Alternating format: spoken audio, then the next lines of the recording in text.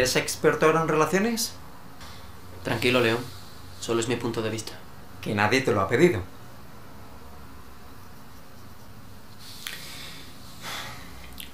Lo siento. ¿Es este sitio seguro para hablar? No hay problema. Como intentes algo raro, te mato. Como has dicho, no eres agente de campo. Inspeccionaste bien la zona, pero no contábamos con que traían un francotirador. ¿De dónde está Ícaro? No sé de qué me hablas. Que me des a Ícaro te mato ahora mismo. ¿Eres de la agencia? ¿Tienes a Ícaro o no? Sí, sí. Dámelo. ¿Qué quieres? ¿Todavía no te has dado cuenta de lo que pasa? ¿De qué hablas? ¿Qué habéis hecho conmigo? León. Ese no es mi problema. No.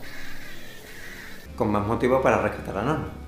Ese no fue el trato. Me da igual el trato.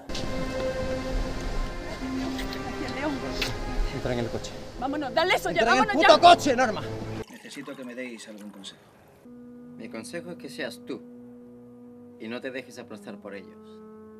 Hoffman llevará el tratado de la nueva ley y solo faltará que la prueben y nos dejen aplicar la justicia como Dios manda.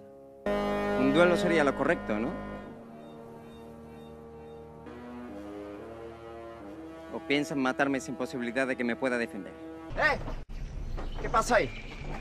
Siendo, ¿qué pasa? Paloma, vuelve al coche. Aquí no se mueve ni Dios. Vuelve al coche.